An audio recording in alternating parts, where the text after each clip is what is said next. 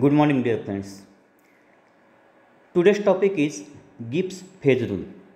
The Gibbs phase rule states that under equilibrium condition, the following relation must be satisfied that is, P plus F is equal to C plus 2, where P is the number of phases existing in a system under consideration, F degree of freedom, that is, the number of variables such as temperature, pressure, and concentration that can be changed independently without changing the number of phases existing in a system.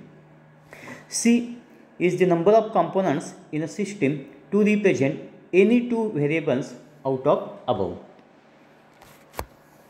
Fusion phase changes, fusion, melting, solid to liquid phase change, boiling, vaporization, liquid to phase change, evaporation, liquid to gas phase change of the particles on the outer surface only, solidification, freezing that is liquid to solid phase change, condensation, gas to liquid phase change, sublimation, solid to gas phase change, deposition, gas to solid. These are the various phase changes. Here is evaporation, solidification and melting. This is solid state, gas state and liquid state. According to the variation in temperature, the phases are going to be changed. Just let us take the example of ice.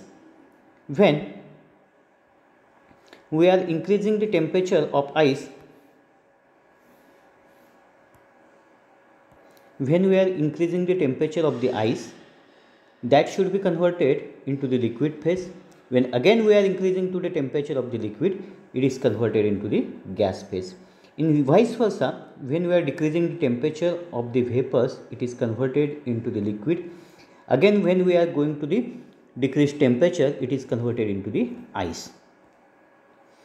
Solids, the structural solids may be ionic, metallic, simple covalent or Gill covalent, but all of these structures have something in common. The smallest particles are not free to move they are held close to each other together in fixed position by the forces around them. The only motion allowed is vibration and this is how they absorb the energy. A particle in solid will vibrate more and more as the temperature rises until eventually it has enough energy to break free from the forces holding it in position. This happens at the melting temperature. In liquids, the structure liquids are materials in which the smallest particles are as close together as solids, but the particles can slip over each other to change the places. They can vibrate, rotate and translate, but the forces that hold the particles of liquid close to each other are greater than the forces due to motion that would forced the particle away from each other.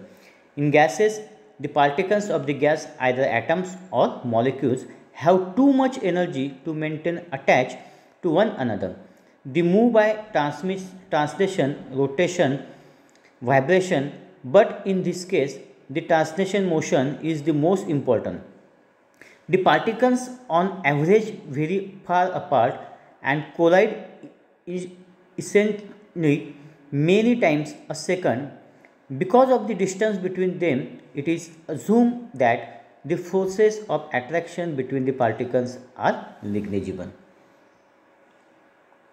Cooling curve for pure metals. A cooling curve is a line graph that represents the change of phase of matter typically from gas to a solid or liquid to solid. The independent variable x-axis is the time and dependent variable y-axis is the temperature. This is temperature versus time plot. This is total solidification time,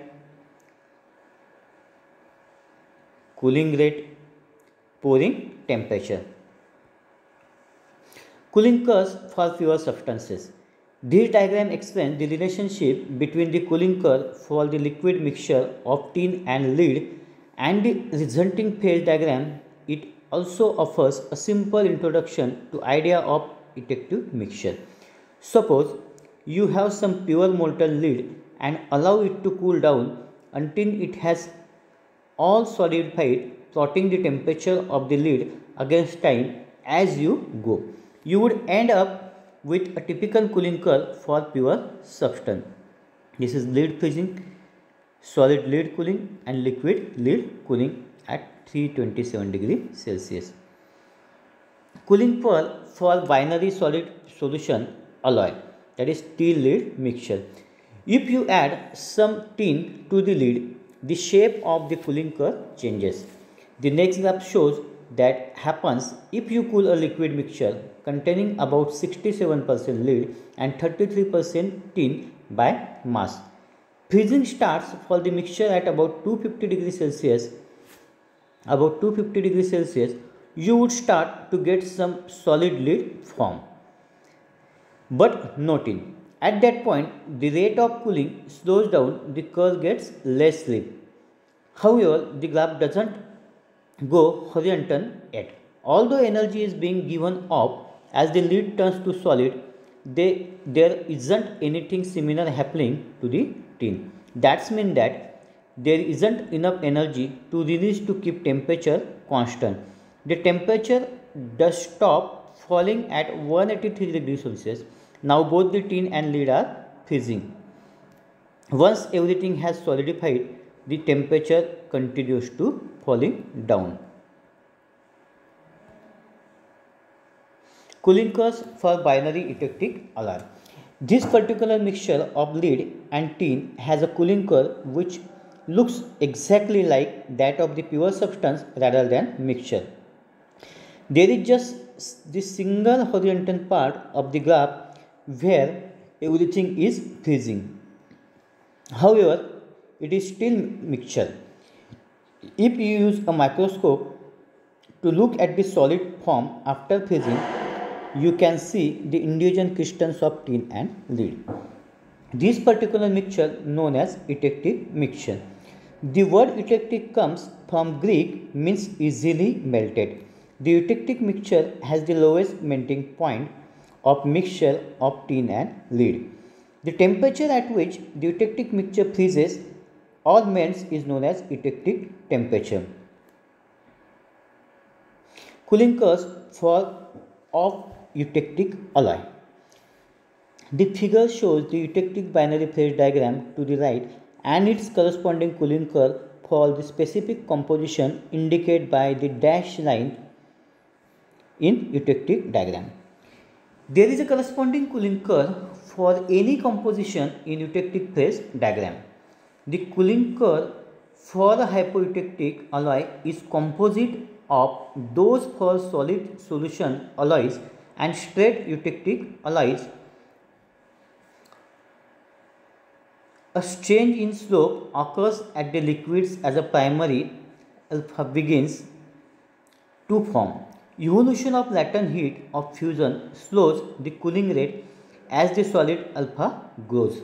When the alloy cools to eutectic temperature, a thermal arrest is produced as the eutectic reaction proceeds.